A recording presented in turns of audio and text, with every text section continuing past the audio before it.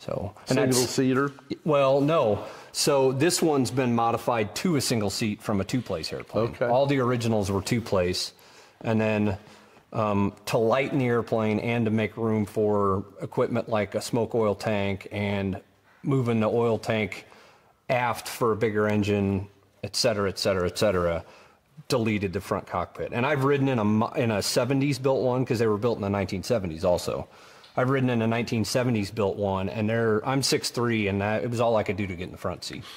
But you know, that's they people were smaller back then. Looks pretty tight. Yeah, yeah. I fit fine in the back seat. The front seat's, you know, a little narrower. Oh, not narrower, a little narrower f- forward aft. Not much leg room. But these things, like I said, people averaged five foot seven was the five foot seven and 170 pounds was was the average male back then at least. So Things have changed some over the years yeah, then. yeah.